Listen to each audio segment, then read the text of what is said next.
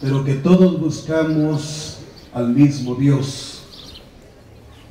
Y por eso yo les invito a todos ustedes a rezar la oración que el Señor buen Dios dejó para todos nosotros.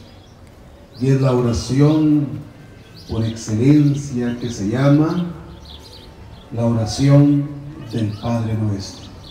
Por eso nos ponemos todos en las manos de Dios, invocamos a Él, pidiendo la protección para este año que estamos ya, que ya dimos inicio, pidiendo para que todas las actividades que vayamos a realizar en bien de este pueblo salgan con armonía, que todas las actividades que vayamos a realizar a lo largo de este año sean para el servicio de todas las comunidades.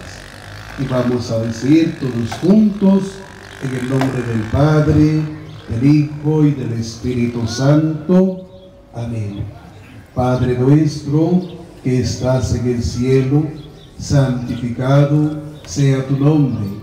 Venga a nosotros tu reino, hágase tu voluntad en la tierra como en el cielo. Danos hoy nuestro pan de cada día, perdona nuestras ofensas, como también nosotros perdonamos a los que nos ofenden. No nos dejes caer en la tentación y líbranos del mal. Amén.